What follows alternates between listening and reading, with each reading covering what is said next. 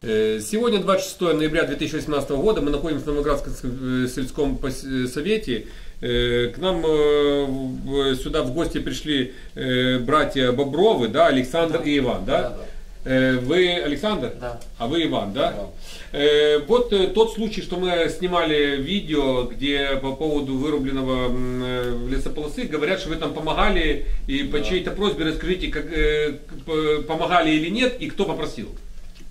Происходило так. Я Данил Иван Иванович. Это э, депутат, да? Да. с- Не, это Иван Иванович его сын, а Иван Да. Ефимович это депутат, А, да? Да. Да. Ну, говорите, что они там... ну, приехал в воскресенье, это было 25 число, но не помню какой месяц точно. Мгм. Короче, я в супере зашел пиво взять и купил бензин на мотоцикл, он подошел, говорит, ребята, вы не хотите заработать? Там надо помочь дрова грузить. Мгм.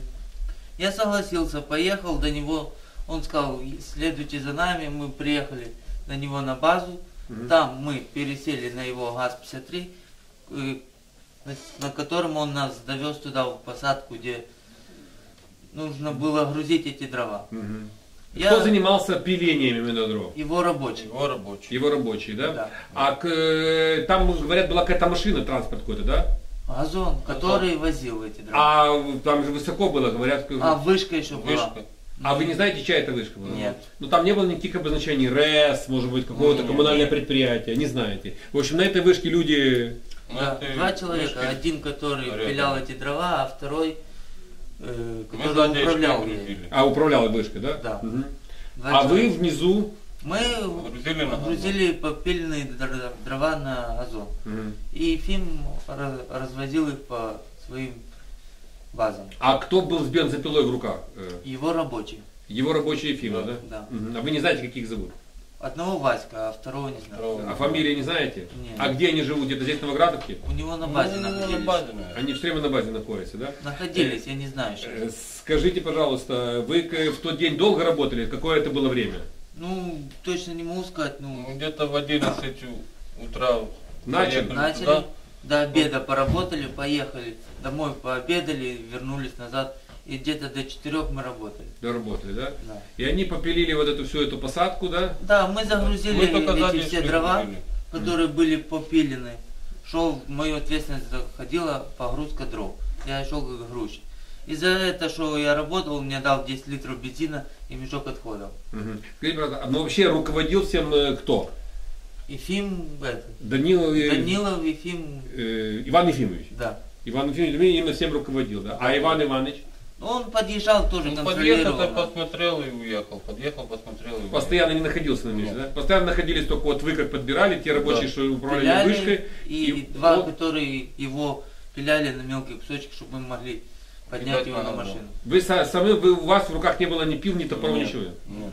Нет. Там топоры не нужны были. То есть они пиляли на такие куски, чтобы потом все складывать, да? Э, Вы когда все разошлись, он вот с вами рассчитался, с тех пор, как вы встречались с ним? После того, Да. ну да. И Что он нам рассказывал? Ну, он говорил, что как, я был Вы, в Идиополе. если что, скажете, что вы не грузили ветки. Короче, что Вы там не участвовали. Вы участвовали тут нанизу на базе, убирали склад. То есть он вас просил соврать, да? Да. да. Вот я под его влиянием, и он мне дал адвоката, я не знаю зачем. Он, а той адвокат ездил со мной в Видеополь, я в Видеополь давал эти показания, которые он мне говорил давать. Мгм. Это происходило так, что я в тот день работал у него по хоздвору. А И адвокат вам тоже это говорил? Адвокат вообще молчал, вообще не... А Он говорил, просто что... сидел, слушал. Да. Ничего, просто сказал, как сказать и все, что я работал у него только по хоздвору, а за дрова я ничего Ну, он не... просил, просил вас не говорить, и вы не сказали, да? Но вы готовы сейчас э, сообщить о том, что он все-таки он Да, мы там были, мы ну, Видели. грузили эти дрова.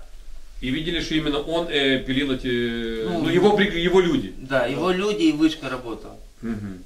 Э, Хорошо, мы тогда эту запись используем для того, чтобы передать э, следователю. Э, И потом, когда мы отработали вот этот день, я как, мы поехали домой, все. На следующий день он мне позвонил утром и сказал, что мы там какие-то други не догрузили, и если их не будет, то он, то я так понял, что он сделает с меня их. То есть он считает, что вы еще что украли у него.